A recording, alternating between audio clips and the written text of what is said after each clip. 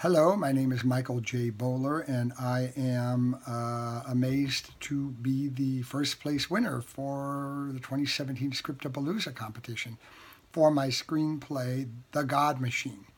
And this is a script that I really love. It, it's a fun story and I kind of got the, the idea for the God Machine from an actual article on the internet about the God Machine, something that uh, a man built in the 1870s. It was supposed to be a way for man to communicate with God, but uh, it apparently never worked, and no one knows what happened to it.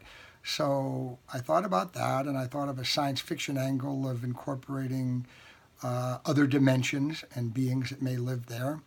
And then my two protagonists, who are 12 year old middle grade kids, are based on a couple of boys that I know who uh, go against the grain. They, they do things that our society says are not boy things, that they're very passionate about them. They don't care what other people think. They have a lot of courage in that regard to, to buck the, the trend. And so I think it's a really, really fun story. It's got a lot of action in it, it's got a lot of heart. I thought about it for quite a while um, through the month of December of last year, and then uh, kind of plotted it out of my mind. And it took me maybe only two or three weeks to write the first draft. And then after that, I tinkered with it for a lot, rewrote it and rewrote it up until the very day I submitted it to Scriptapalooza.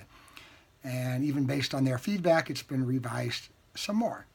So I uh, it is not the first script I've ever written. I have a master's degree in film and television production from Loyola Marymount University, and uh, way back in the day, as the kids say, I, I worked on low budget horror films. I was producer, director, writer on some of them. And uh, also, that was during and before the time I taught high school. And since then, I've been writing a lot of books, novels, and whatnot. But uh, so I thought I'd try my hand at another screenplay, and I entered it in Scriptapalooza because it's it's like the best contest. And even I figured I, I might get into the top 100, and then my script would be shopped around. I, I never imagined in a million years I would end up with, with first place. So uh, my advice to other writers is always just keep going, keep going, never give up. I mean, I've written a lot of stuff, and this is really the biggest success I've had. So I'm thrilled, and I'm very grateful to Scriptapalooza and all the judges for uh, loving the God Machine as much as I do. So thank you.